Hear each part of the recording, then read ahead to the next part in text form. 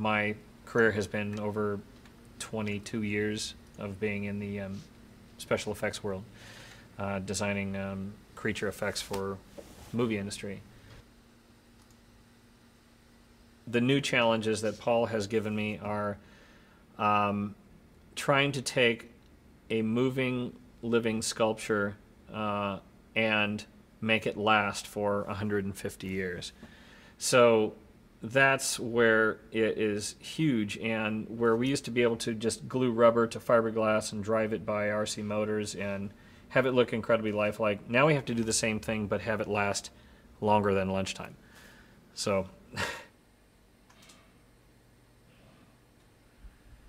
this is a sculpture we've been working on um, called Bush and Pig and um, this is the mechanical design for the robotic understructure, um, and a lot of these things are the drive components to drive the robotic part of the sculpture.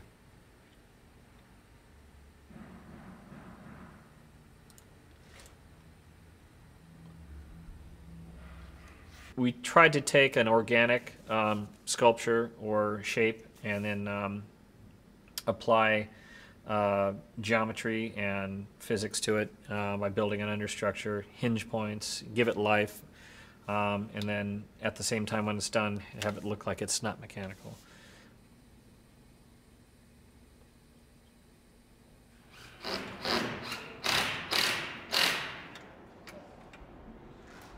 Sometimes it's it's just it's helpful to me to come out and get a physical look at stuff, just real space. I mean, I can get that in 3D world and computer, but I also like to just kind of, you know, get the true view of what's going on as well. This tabletop may become silicone, and the sides may be silicone, um, and there may be some walls that get holes cut out in it maybe, but that's part of the creative points that Paul comes and and tweaks afterwards. Um, he'll cut holes in things and do things that are very contrasting to what the symmetry of the mechanism is and things like that. So, yeah, this represents basically a, about a three quarter inch skin thickness inside. So it looks a little different than the original sculpture. It's because it's actually inside the skin. This will become basically like a dress former mannequin. The skin will slip over this, snap into place on all these snaps.